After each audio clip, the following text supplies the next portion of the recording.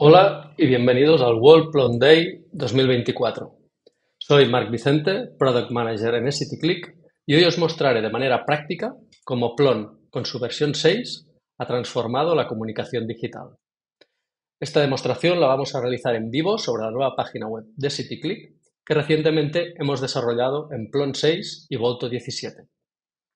Para los que no conocéis esta nueva versión, Cabe destacar que significa un paso de gigante en la manera en cómo se editan los contenidos, pero mantiene su esencia, en lo que a seguridad, facilidad de uso y accesibilidad se refiere. Tanto si eres usuario de Plon como si te estás planteando cambiar de CMS, esto te interesa. De entrada, podréis comprobar cómo se mantiene la característica barra de herramientas que desde la versión 5 de Plon nos acompaña en el lateral de la pantalla. Esta vez está totalmente rediseñada para evitar distracciones y focalizar al usuario en las principales acciones de editar, navegar los contenidos o añadir nuevo contenido. Si pinchamos en la carpetita, accedemos a la clásica vista de contenidos que nos sigue permitiendo navegar por la estructura jerárquica de contenidos de nuestro portal, donde podemos ver información básica de los contenidos, como es su título, su estado de revisión, última modificación, fecha de publicación u otras acciones. Y desde aquí podemos modificar de manera masiva sus propiedades, cambiar el estado, cambiar las etiquetas, su nombre, el título o realizar acciones como cortar, pegar, copiar los elementos o eliminarlos.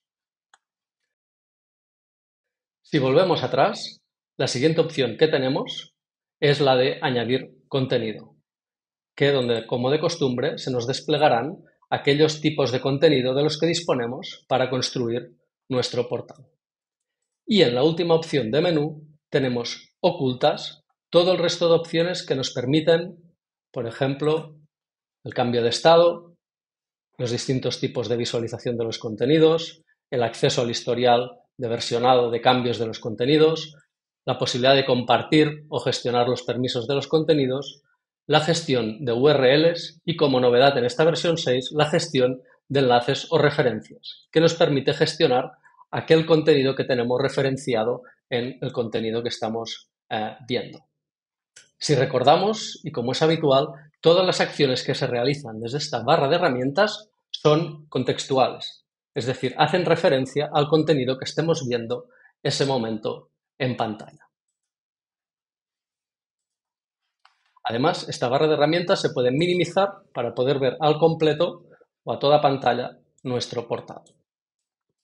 A partir de aquí vamos a ver dónde radica el cambio de este nuevo frontend Volto que es en la edición de contenidos. Si recordáis, hasta ahora la edición de contenidos se solía limitar a una caja de texto con un editor estilo Office que nos permitía dar cierto formato al texto. Podíamos crear tablas, podíamos subir imágenes, poner enlaces y poca cosa más. Algunos usuarios ante este editor se podían encontrar un poco encorsetados o con falta de opciones a la hora de poder crear estructuras de contenido más complejas, como texto columnado, carruseles, acordeones, etc. Pues bien, vamos a ver cómo se ha resuelto esto con el nuevo frontend de Volto. Si creamos o editamos un nuevo contenido, lo primero que vemos en la parte derecha es el clásico formulario al que ya estamos acostumbrados donde podemos modificar los metadatos de ese tipo de contenido. Estos campos van a variar en función del tipo de contenido con el que estemos trabajando. Por ejemplo, podemos incluir el título. Podemos incluir una descripción.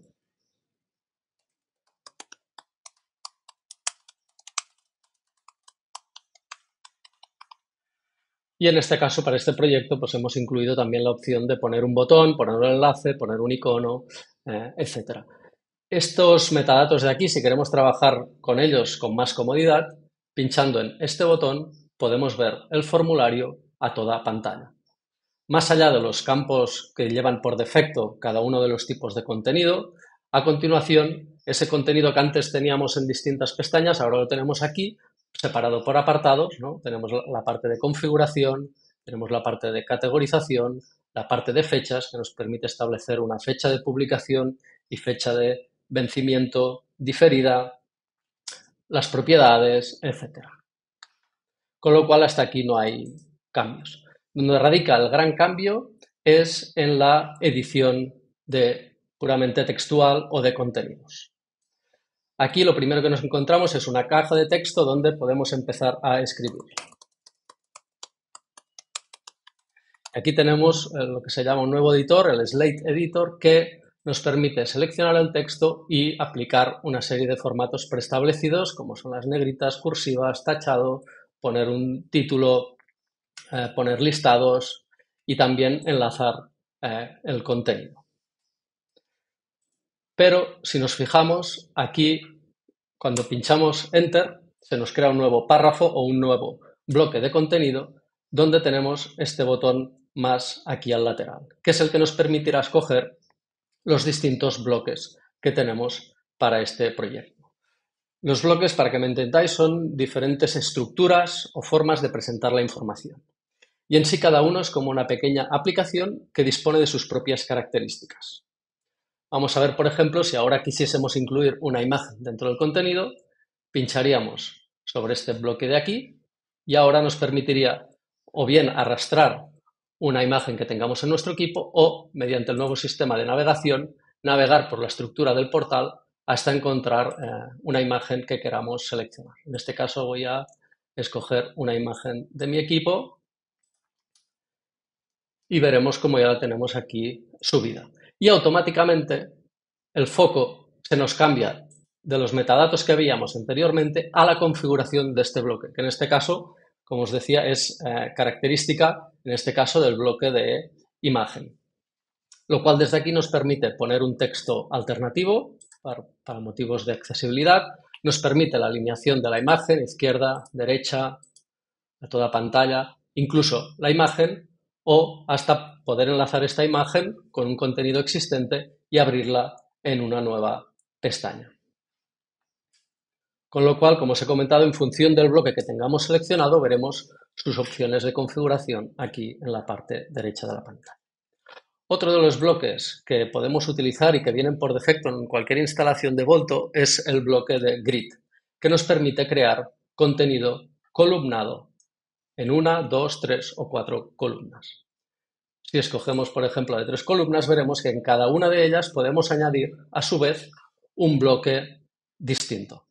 Por ejemplo, aquí podríamos añadir un bloque de texto, con lo cual podemos escribir un texto.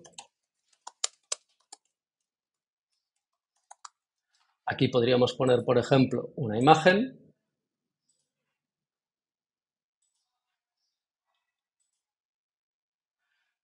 Y aquí podríamos poner pues, un vídeo.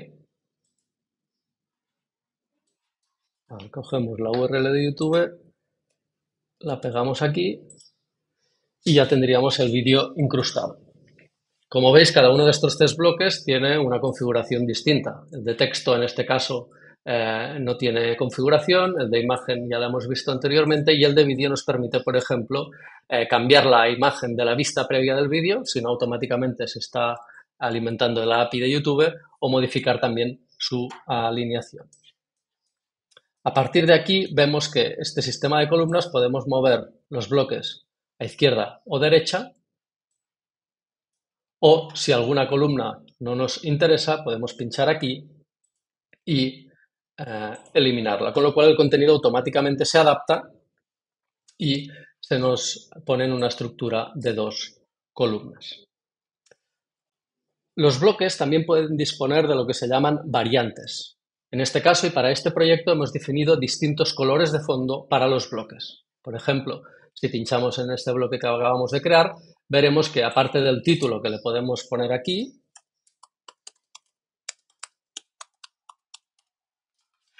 tenemos aquí un selector que nos permite escoger distintos colores de fondo.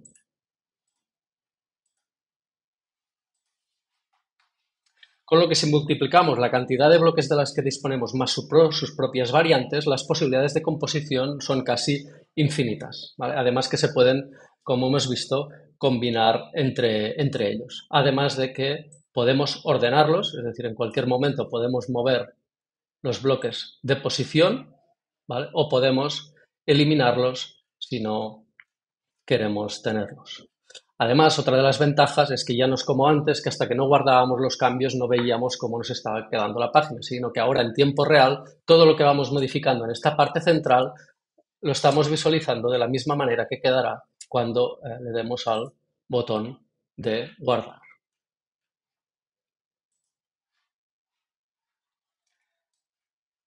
Vayamos ahora, por ejemplo, a crear un bloque también de cuatro columnas y en este caso en ellos vamos a poner un bloque que hemos desarrollado para este proyecto llamado icono. Este bloque que hemos desarrollado nos permite, por ejemplo, buscar entre una librería de iconos, poner un título poner la URL donde queremos que se enlace o una descripción. Este componente también tiene distintas variantes, con lo cual podemos escoger si queremos una visualización más vertical u horizontal.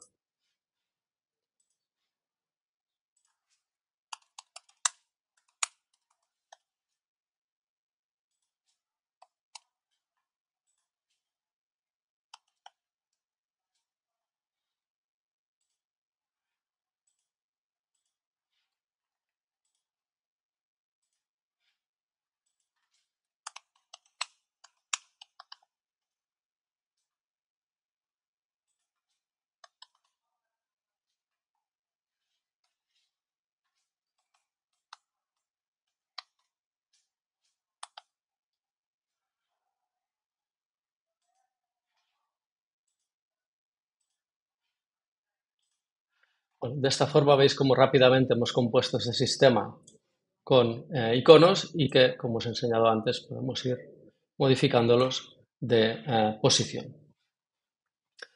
Otro de los bloques más potentes que existen es el de buscador. Este es otro de los bloques que vienen por defecto con el sistema y que podemos encontrar bajo la agrupación de común. Como veis, los bloques, sobre todo si tenemos muchos bloques en nuestro proyecto, están agrupados según categorías. Primero vemos los más usados y luego los podemos ir agrupando según estas categorías. Además, disponemos de un buscador que nos permite buscar entre los bloques que tenemos disponibles.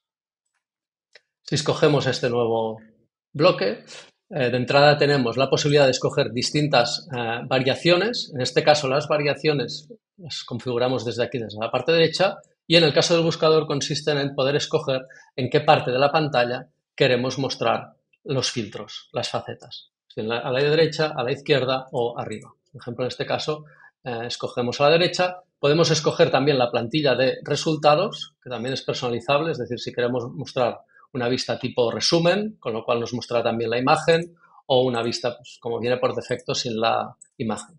Y además le podemos incluir un título. Una vez tenemos establecida la configuración básica de este bloque, lo que podemos también definir es sobre qué base de contenido se, debe realizar esta búsqueda. En este caso, por ejemplo, eh, queremos realizar una búsqueda solo sobre noticias que estén en un idioma determinado. Pues bien, añadiríamos un criterio de tipo de contenido, donde aquí escogemos que queremos solo que nos muestre o solo que nos busque sobre el tipo de contenido noticia. Podemos añadir un criterio ubicación, con lo cual aquí, por ejemplo, decimos que solo quiero que nos busque en el directorio em, de contenidos en castellano.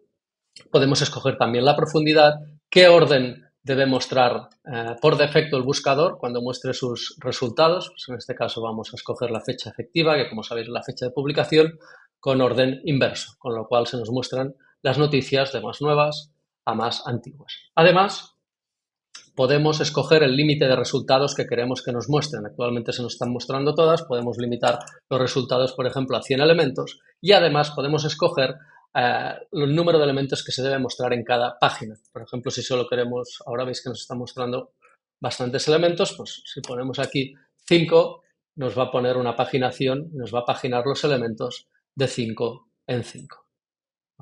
Pero la configuración no termina aquí, sino que también tenemos control sobre los filtros que queremos mostrar. Por ejemplo, ponemos el título filtros para la sección de filtros y aquí podemos ir añadiendo nosotros tantos filtros como queramos. Primero escogemos sobre qué campo queremos filtrar, en este caso pues podría ser interesante eh, un filtro por fechas. Escogemos qué widget queremos usar, tenemos desde desplegables de selección, casillas de verificación, en este caso lo que tiene más sentido es usar un rango de fechas, con lo cual podríamos introducir aquí dos fechas y nos haría una búsqueda eh, de todas las noticias que tenemos en nuestro portal en base a estas dos fechas. A partir de aquí, pues, por ejemplo, podemos indicarle que esta es una faceta avanzada, con lo cual hasta que el usuario no pinche en el botón de más filtros, no aparecería. Como veis, una configuración bastante completa y que nos permite muchas posibilidades. ¿no? Lo que antes implicaba a los desarrolladores hacer una vista, una visualización específica con un buscador, ahora los propios usuarios de manera muy sencilla se lo pueden configurar. Con además otras opciones ¿eh? de configuración, como permitir pues, que los propios usuarios sean capaces de escoger sobre qué campo quieren ordenar el buscador o cómo quieren mostrar los eh, resultados o si queremos mostrar los resultados totales o no. Bueno, en fin, un sinfín de opciones de eh, configuración que nos permiten personalizar el buscador a nuestro antojo. Vamos a eliminar este bloque. Otro de los bloques también más interesantes que tenemos, este sí que no viene por defecto y habría que instalarlo aparte, es el que nos permite crear formularios de contacto. Pinchando en esta opción ya se nos crea un campo. Aquí podríamos rellenar pues, el título del formulario.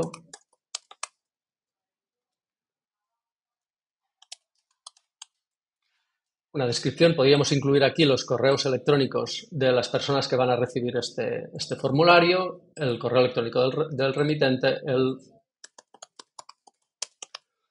el asunto del mensaje e incluso el nombre de la etiqueta de envío. Además, si tenemos instalado un proveedor de captcha, tipo Google Recaptcha o demás, desde aquí se puede seleccionar para que si no se cumple el captcha no se permita el envío de correos. Además, también podemos configurar si queremos que los datos que se envíen queden recopilados o queden guardados dentro del CMS para poder luego exportar los datos en formato CSV. Podemos modificar el mensaje de agradecimiento una vez se ha enviado el formulario y a partir de aquí es donde podemos empezar a configurar los distintos campos que puede tener el formulario. Campos tenemos de distinto tipo, en este caso pues tenemos campos de texto, eh, de lista, de selección única, de selección múltiple. Yo creo que prácticamente todas las necesidades que pueda haber a nivel de formulario aquí quedan eh, cubiertas. También podemos añadir, indicar si el campo debe ser em, de obligado, eh, de rellenarlo obligatoriamente. A partir de aquí podemos agregar más campos,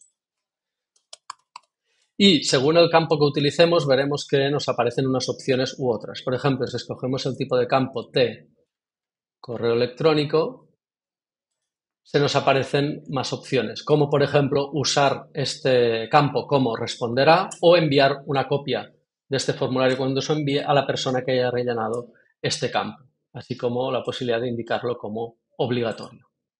Y otro de los campos que también son interesantes es el de selección, que puede ser única o múltiple.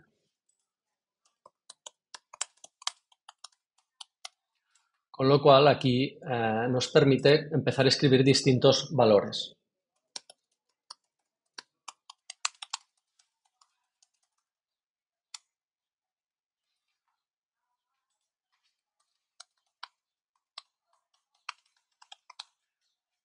Con lo cual vemos que aquí se nos van apareciendo las distintas opciones. En cualquier momento podemos cambiar el campo a, por ejemplo, selección múltiple para que el usuario pueda escoger más de una opción. Existen campos de subida de documentos, de fecha, prácticamente cualquier campo que se os ocurra se puede, se puede añadir, además de que luego pues, en cualquier momento podemos alterar el orden del, eh, de los campos del formulario, eliminarlos, eh, etcétera. Bueno, muchos de estos bloques que hemos visto hasta ahora también los podemos reaprovechar. Es decir, podemos seleccionar uno o varios bloques. Por ejemplo, vamos a seleccionar este con la tecla Shift de nuestro teclado, este y este. Y aquí veremos que se nos iluminan las opciones de eliminar para eliminarlos masivamente, cortarlos o copiarlos. En este caso yo los puedo copiar podríamos crear ahora un nuevo contenido y aquí nos aparece la opción de pegarlos, con lo cual podemos reaprovechar los bloques de una página a otra. O incluso los cambios que hagamos, como si eliminamos un bloque, podemos deshacerlos pinchando en este botón que tenemos aquí. Permitidme un momento que vayamos al panel de control para ver, a la configuración del sitio, para ver qué bloques hemos usado para este proyecto. Aquí vemos los add-ons que hemos usado de la comunidad, el Volto Slate, que es el que ya lleva por defecto para el editor Slate, eh, el bloque Icon Selector Widget de Acintic para la selección de iconos, Volto Subblocks, que nos permite poner bloques dentro de otros bloques, Volto Form Blocks, que es el que veíamos antes para la generación del formulario, el de privacidad y el de Google Analytics, que en, conjunción son los que nos permiten tener una gestión avanzada de las cookies, con lo cual podemos escoger, pues, el usuario puede escoger qué cookies quiere eh, que se rastreen y cuáles no, y una serie de bloques de la Agencia Europea del Medio Ambiente, además de los bloques que hemos desarrollado para este proyecto y que ahora a continuación os voy a mostrar y que tenemos en este add Esperamos pronto todos estos bloques que os voy a enseñar poderlos también subir a nuestra cuenta de GitHub. Bueno, aquí veis un poco el, el sistema de cookies que os estaba enseñando antes, que nos permite, pues eso, la personalización eh, por parte del usuario para poder guardar sus preferencias en cuanto a qué cookies quiere que sean rastreadas. Y vamos a ver los bloques que hemos desarrollado. Por ejemplo, tenemos el que nosotros llamamos Client References, que sería para incluir referentes de nuestros clientes en esta, en esta página web.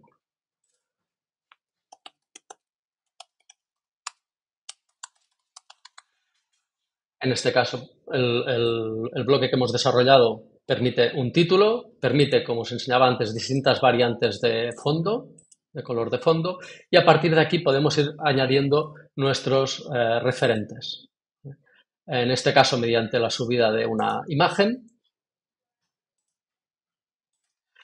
Y pueden llevar un título y un enlace. ¿vale? A partir de aquí pues podemos añadir tantos como queramos.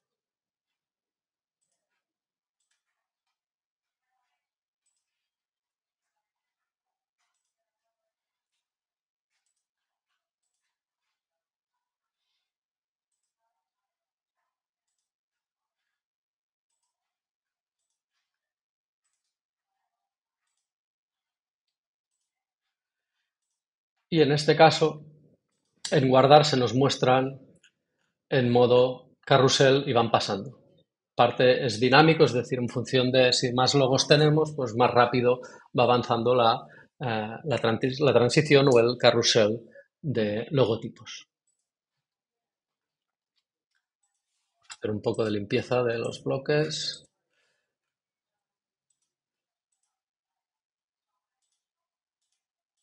Vale. Otro de los bloques que tenemos disponible es lo que llamamos eh, Tabs Listing, que nos permite crear un sistema de acordeones.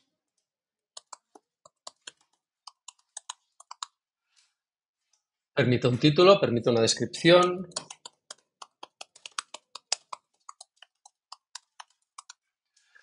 Podemos, como hemos visto anteriormente, modificar el fondo y a partir de aquí podemos añadir distintos ítems que se nos irán creando a modo de pestañas verticales.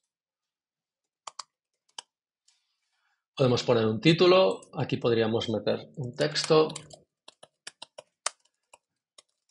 y así podemos ir creando distintos ítems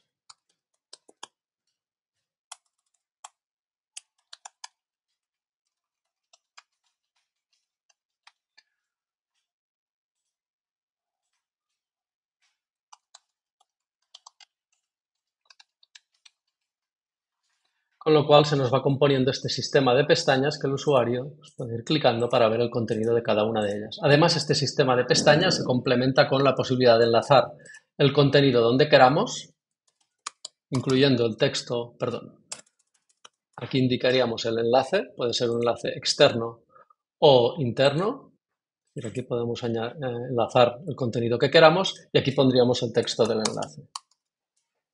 Además de que tenemos la posibilidad de incluir un eh, icono. Y aquí ya tendríamos pues, en este último ítem el icono con el botón, con el enlace donde nosotros queramos. Estos ítems, como hemos visto, pues también son ordenables, es decir, podemos arrastrarlos arriba y abajo o podemos eh, eliminarlos hasta dejar solo aquel contenido que queremos tener mm, disponible. Bien, otro de los bloques que hemos desarrollado para este proyecto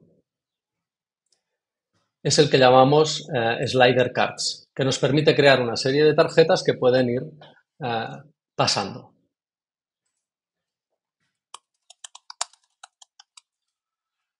También dispone de un título, una descripción y a partir de aquí, pues como hemos visto, se sigue la, misma tendencia, vamos añadiendo eh, ítems. Cada uno con su descripción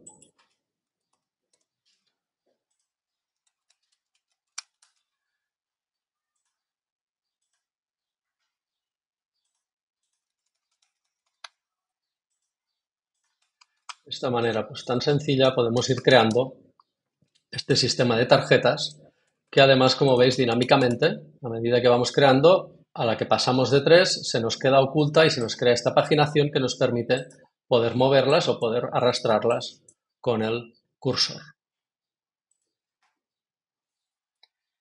El siguiente bloque que os quiero mostrar es el de testimonios que hemos creado para poder mostrar testimonios de nuestros clientes en nuestro portal. Como de costumbre, el bloque dispone de la posibilidad de, incluir un título, una descripción, incluso en este caso, como nos interesaba enlazar el, el formulario de contacto, simplemente poniendo aquí el enlace ya nos muestra el botón de contacto. Como hemos visto anteriormente, tenemos distintas variantes de fondo y aquí, a partir de aquí, podríamos ir añadiendo nuestros testimonios.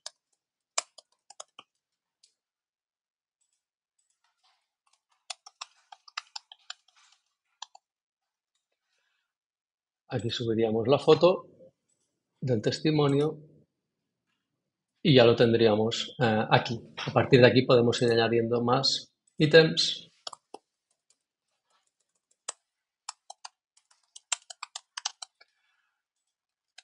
Con más descripciones y con las imágenes, con lo cual pues irían pasando también si tuviésemos más de, más de dos. Y ya para terminar esta parte, otro de los bloques que hemos desarrollado es el que llamamos timeline o línea temporal, que nos permite, nosotros lo hemos usado para parte de historia de la empresa, es mostrar esos hitos temporales. Aquí añadiríamos un ítem para cada hito temporal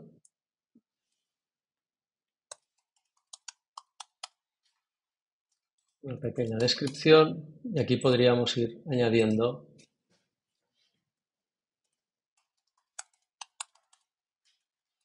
distintos hitos con su explicación. Además que, como os decía, pues podemos aplicarle distintos, distintas variantes de, de fondo.